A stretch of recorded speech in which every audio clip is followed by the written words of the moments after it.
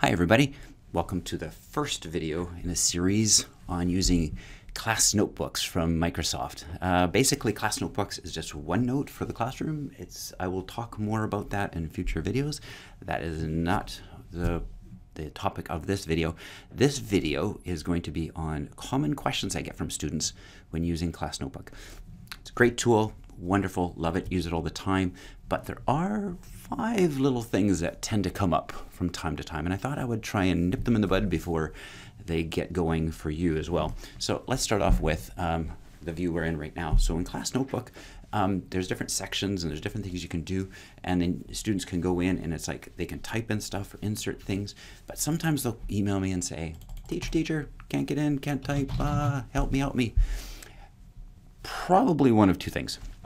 So let's start off with the easy one. If you'll notice here along the, uh, the menu bar up here, it's pretty sparse. Why? because it's in reading mode. So we need to get out of reading mode if we want to edit. So you have to click on the edit notebook, edit in browser, and voila, now we can edit. I can actually go in here and I can type something and I can insert stuff. And you'll notice that the menu bar has now changed. That's usually the problem because what's happened is when they log in um, on their browser, it just goes into reading mode. So I, I try and make sure my students all know that at the beginning that they shouldn't use reading mode, make sure they edit edit in browser, and they can go back in. Now, could be something else as well. Sometimes what I'll do is, so when I distribute homework to my students, they have a homework folder, and I'll distribute a page to them in OneNote, which means they get a copy of it in everybody's folder, homework folder. And um, students, I'll tell them, go to your homework folder, do your homework. Sometimes students will delete that by accident, and so I put a copy in the content library as well. But the content library has an interesting thing. Um, students can view it, can copy stuff from it, but they cannot edit the page.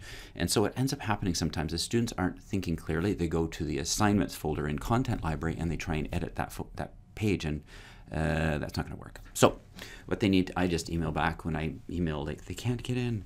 Uh, I just send them off a quick note. Hey, check edit. If not, make sure you're in your homework folder. Everything should be good. All right, so that's the first one. They can't type, they can't do anything. Number two, I can't find the pages on my phone. What's probably happened in that particular case is they're using the browser function. Uh, they're, they're logged in using the browser on their phone in OneNote. OneNote has a great app for both iOS and Android, but um, and the app, or if, you're not using the app, if you're using the browser, it's uh, it's not as good. I mean, there's obvious reasons why. It's just a very small screen. It doesn't work very well. So what will happen is students will in class, this often happens in class because we'll use it in class as well too. Um, they get this and they say, I can't find my section. I can't find the content library. I can't find anything. Um, that's because you need to switch from portrait mode to landscape mode. And voila, there's the menu. Now you can type in stuff. Okay, so um, I often tell them just if they're going to use the browser mode, uh, then make sure they're in landscape mode.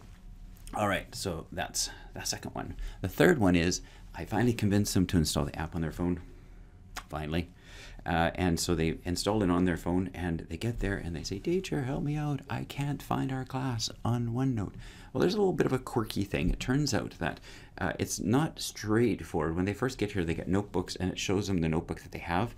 And then it says more notebooks. And if they click on more notebooks, it shows a list of recent ones. And students can't find it there because they haven't opened it yet.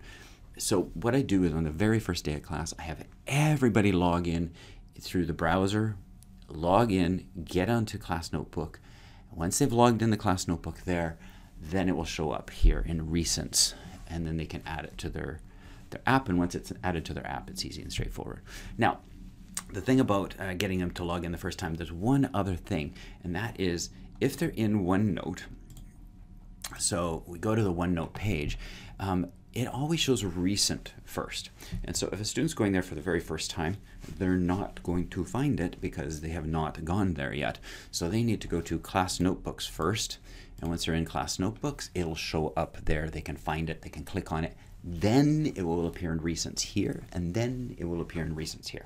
So that's the second, the basically the the third thing. Uh, fourth thing, what are we going to look at? Well, um, I often get students who I say, I tried, I was trying to insert an audio, like they're doing pronunciation recording. Can't insert audio, don't understand what's happening. Nine times out of ten, it's because they have the cursor in the menu or in the title bar.